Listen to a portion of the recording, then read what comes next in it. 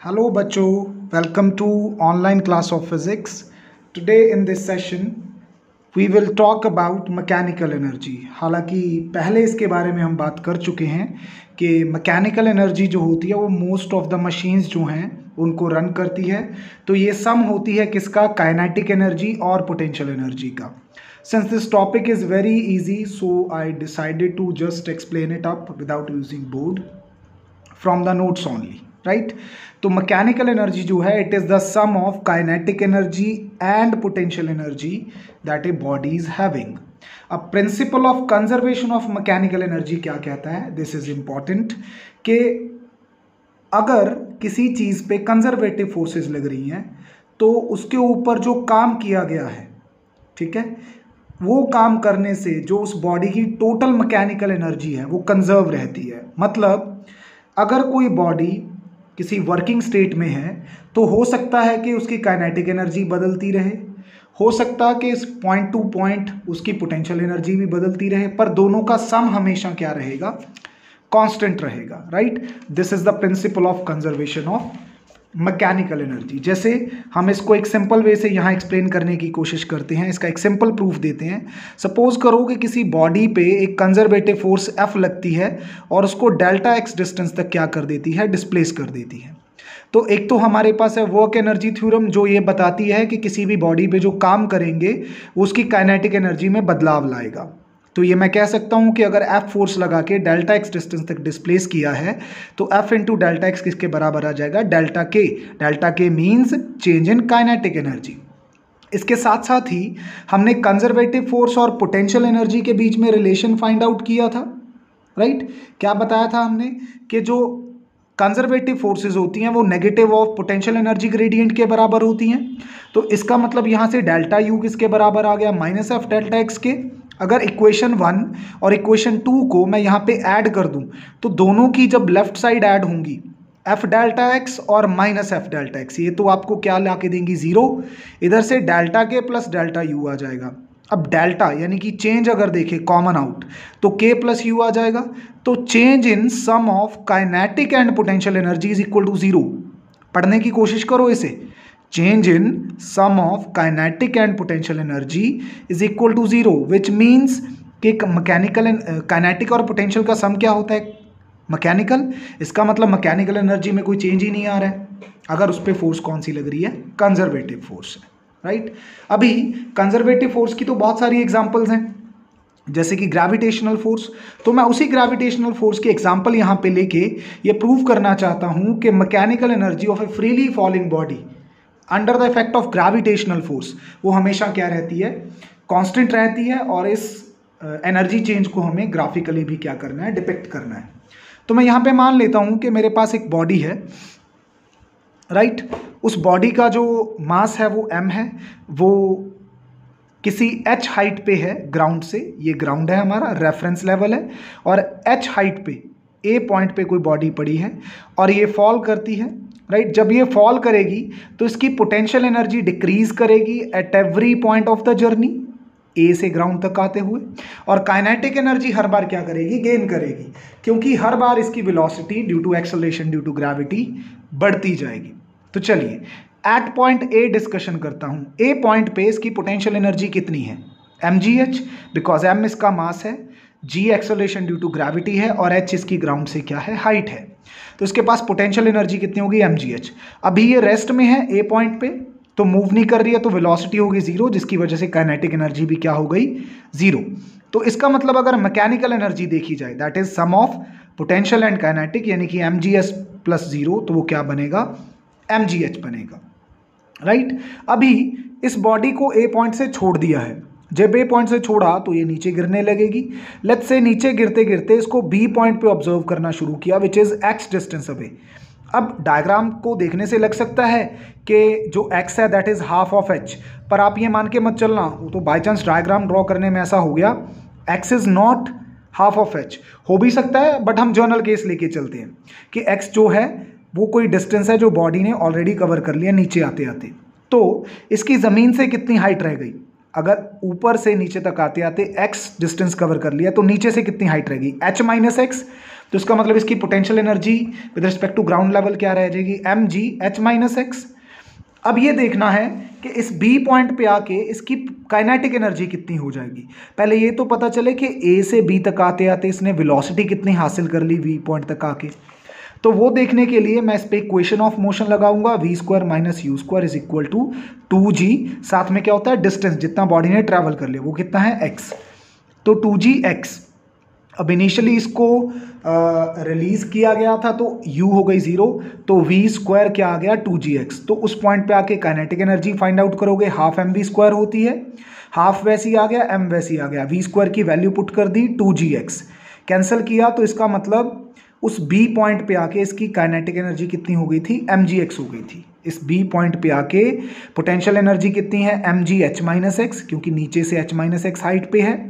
और kinetic energy कितनी हो गई थी? एम जी एक्स अब m g h minus x और एम जी एक्स को ऐड करेंगे मैकेनिकल एनर्जी निकालने के लिए। इसको ओपन करेंगे जब आप तो क्या बनेगा? M g h minus m g x plus m g x तो एम जी एक्स और m g x term cancel हो जाएगी, सिर्फ़ क्या बचेगा? एम जी एच यानी कि बी पॉइंट पे भी आके उसकी काइनेटिक और पोटेंशियल भले चेंज हो गई बट टोटल तो वही एम जी एच रही।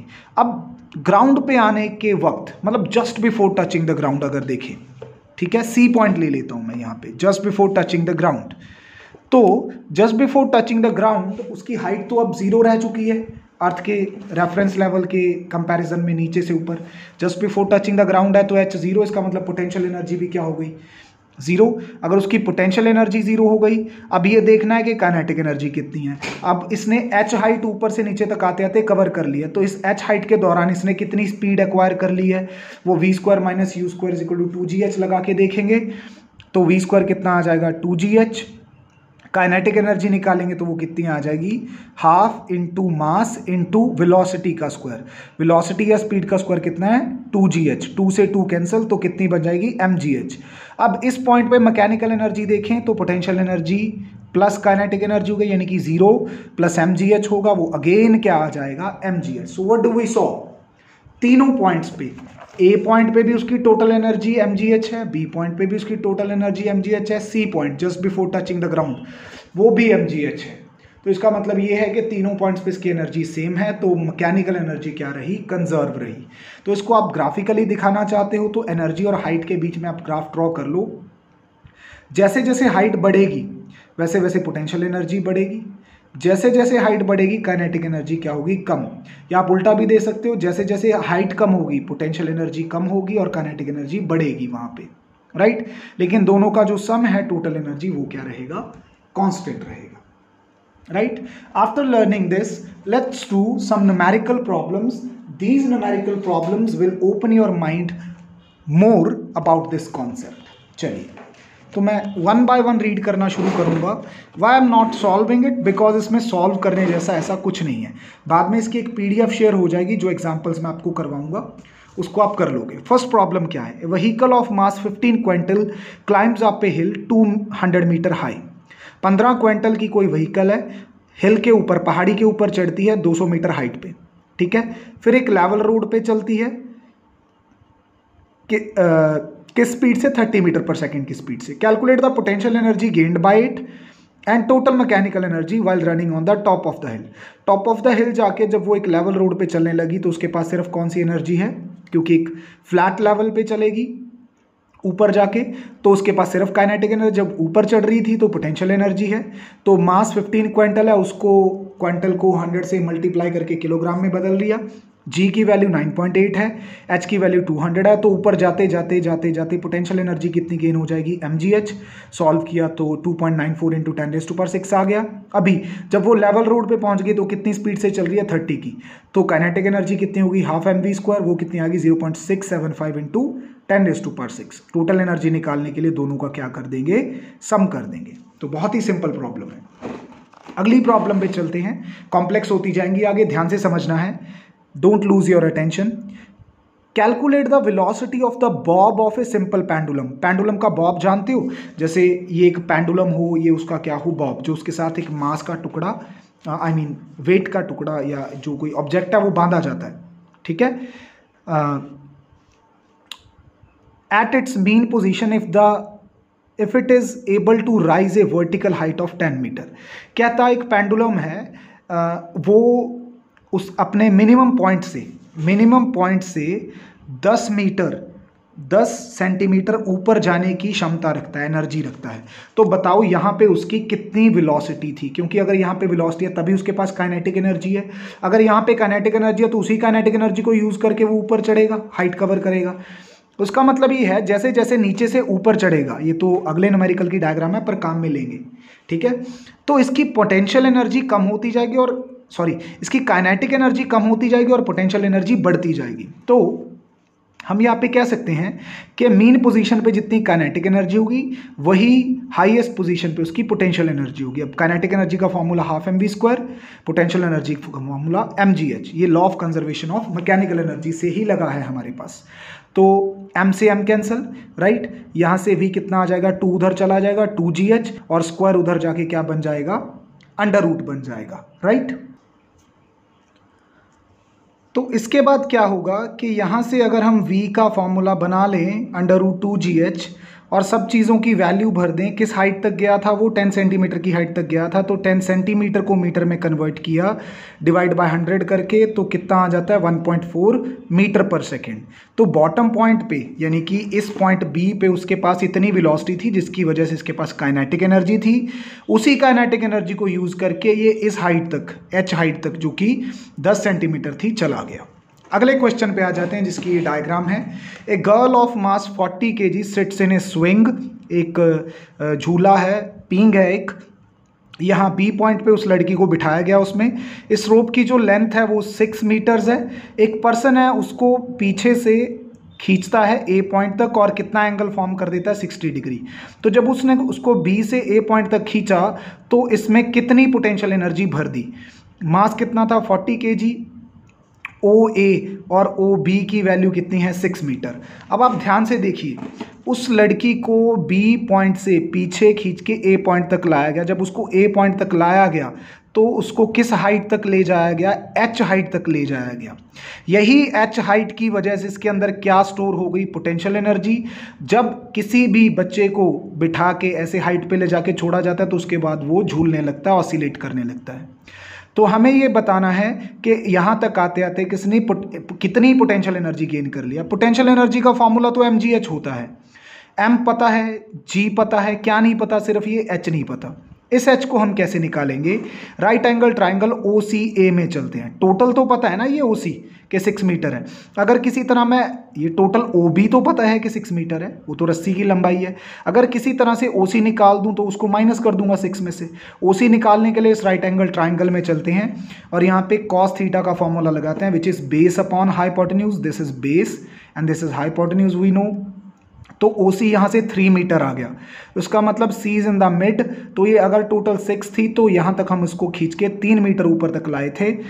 तो यहाँ तक पोटेंशियल एनर्जी निकालने के लिए फॉर्मूला लगाया एम जी एच फोर्टी उसका मास था जी नाइन पॉइंट एट थी, तीन उसकी हाइट थी, ये वाली एच तो कितनी पोटेंशियल एनर्जी स्टोर की थी? One thousand one hundred seventy six joule चलिए, आगे बढ़ते हैं। I hope you are getting these numerical problems how high must a body be lifted to gain an amount of potential energy equal to kinetic energy it has when moving at speed twenty अब क्या था, कोई body 20 metre पर second की speed से move कर रही थी। उसके पास जितनी पोटेंशियल एनर्जी होगी, उस सॉरी उसके पास जितनी काइनेटिक एनर्जी होगी, उतने ही अमाउंट की उसको पोटेंशियल एनर्जी देने के लिए कितनी हाइट तक उठाना पड़ेगा? सिंपल सी बात है। पोटेंशियल एनर्जी और काइनेटिक एनर्जी को बराबर रख दो, क्योंकि वो सेम अमाउंट की एनर्जी चाहता है। M G H is equal to half M B square H कितना आ जाएगा? B square by two G अब वेलोसिटी कितनी थी? जिस टाइम उसके पास काइनेटिक एनर्जी थी twenty so twenty into twenty two times M तो कैंसिल ही हो गया। जी की वैल्यू कितनी दे रखी है? नाइन पॉइंट एट इसका मतलब उसके पास 20 मीटर पर सेकंड की वेलोसिटी की वजह से जो काइनेटिक एनर्जी थी, उतने ही अमाउंट की पोटेंशियल एनर्जी उसके पास तब आएगी जब उसको 20.2 मीटर ऊँचा उठा देंगे। सिंपल अगला question the string of a pendulum is two metre long कोई पेंडुलम है जिसकी रस्सी दो मीटर लंबी है। The bob is pulled sideways sideways का मतलब उसको उसी तरह से खींचा गया है, इस तरह से। ठीक है? जैसे पिछली डायग्राम में दिखाया था। So that the string becomes horizontal and bob is release horizontal होने का मतलब पता है क्या? हॉरिजॉन्टल होने का मतलब है कि ये देखो, इसको ए पॉइंट को खींच के यहाँ ओ के बराबर तक लाया गया है, ताकि ये हॉरिजॉन्टल हो जाए। चलिए, कर दिया, कोई बात नहीं, जैसे भी करना चाहें। And then the bob is release फिर वहाँ पे ले जाके छोड़ दिया। What is the speed with which bob arrives at the lowest point assume that ten percent of initial energy is dissipated against air friction मान लो कि एयर फ्रिक्शन की वजह से 10 परसेंट एनर्जी खराब हो जाती है। तो जब आप उसको ऊपर लेके गए, कितनी हाइट तक? जितनी उस रस्सी की थी। ये देखो ना, अगर सीधा लटकता पेंडुलम तो इस हाइट के साथ लटकता। अगर आप इसको शिफ्ट करते करते करते करते ओके बिल्कुल ऐसे यहाँ पे ले आए। ठीक है? अगर यहाँ पे इस पॉइंट पे ले आए तो आपने अल्टीमेटली इस लेवल से उसको इस लेवल तक लेके जाने में कितनी हाइट कवर कर ली? एच हाइट कवर कर ली। तो जो आपकी टोटल पोटेंशियल एनर्जी है, वो कितनी बनेगी? एमजीएच बनेगी। लेकिन उसमें से 10 परसेंट तो खराब होगी तो पीछे कितनी रहेगी? 90 परसेंट। यही 90 परसेंट एम आपको क्या देने वाली है जब आप रिलीज़ करोगे? काइनेटिक एनर्जी वो किसके बराबर होती है? हाफ़ एम स्क्वायर के। जब किसी चीज़ को ऊपर से छोड़ते हो तो वो पोटेंशियल एनर्जी किसमें तब्दील होने लगती है? काइनेटिक एनर्जी में। तो यहाँ से 90 परसेंट का मतलब 90 बाई हंड्रेड एम से एम कैंसिल अगर v का फॉर्मूला बनाएँ, सब कुछ एक तरफ़ ले जाके v स्क्वायर का तो ये बनेगा स्क्वायर का इधर आके अंडर रूट सारी वैल्यूज़ भर दो लोएस्ट पॉइंट पे आके उसकी स्पीड कितनी होगी? वापस जब किस पॉइंट पे आएगा? इस बी पॉइंट पे आएगा। छोड़ने के बाद यहाँ से यहाँ तक आते आते बी तक आते आते इसकी स्पीड कितनी हो जाएगी? सिक्स मीटर पर सेकेंड हो जाएगी। तो बहुत ही इंट्यूटिव है ये न्यूमेरिकल्स कुछ भी ऐसे हिडन नहीं है। A ball bounces to 80 percent of its original height मतलब तुमने किसी हाइट से बॉल को छोड़ा, वो ज़मीन से टकराई।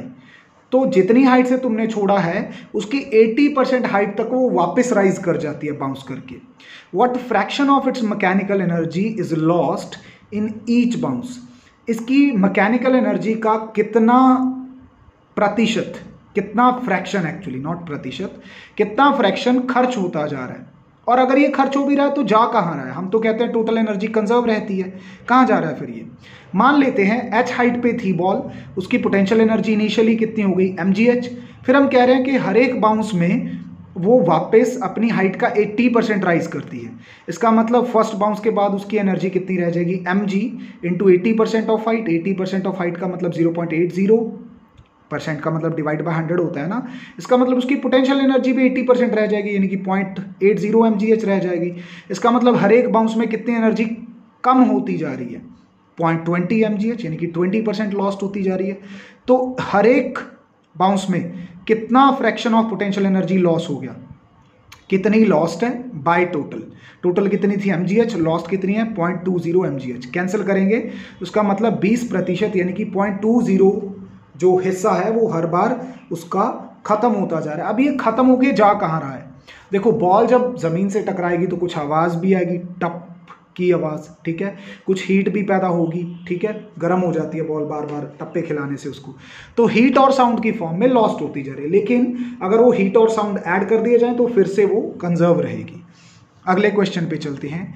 A ball at rest is dropped from a height of 12 metre कोई बॉल थी किसी हाइट पे? रेस्ट पे थी, वहाँ से उसको छोड़ा गया है। वो हाइट कितनी थी? 12 मीटर थी।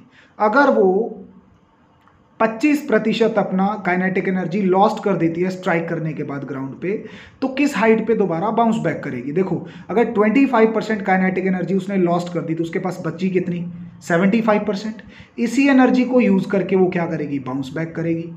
How do you account for the loss in kinetic energy वो कितनी हाइट पे वापस बाउंस बैक करती है तो वो तो निकाला जा सकता है। उसकी ओरिजिनली जो पोटेंशियल एनर्जी थी एमजीएच उसका 75 परसेंट लेके ही वो राइज करेगी ना। इसका मतलब नई potential energy must be equal to 75 percent of initial potential energy यानी कि एम डैश क्योंकि हाइट ही चेंज हुई है। मास और जी तो सेम है। 75 percent of m g h पुराने वाली तो इसको सॉल्व करेंगे तो h dash will be 0.75 times of h originally कितनी हाइट से छोड़ा था? 12 मीटर की हाइट से, यानी कि 9 मीटर हाइट तक ही राइज कर पाएगी। अब वो कह रहा है कि जो लॉस हुआ है काइनेटिक एनर्जी का 25 परसेंट ये कहाँ जाएँगे? ये हीट और साउंड की फॉर्म में आएँगे। वो तो हमने बता ही दिया है कि टप्पा खिलाने के बाद आवाज़ आती है और बॉल जो है वो थोड़ी सी गर्म भी हो जाती है। एक लास्ट प्रॉब्लम जो हम आज डिस्कस करेंगे a ball falls under the gravity from a height of 10 meter with an initial downward velocity u.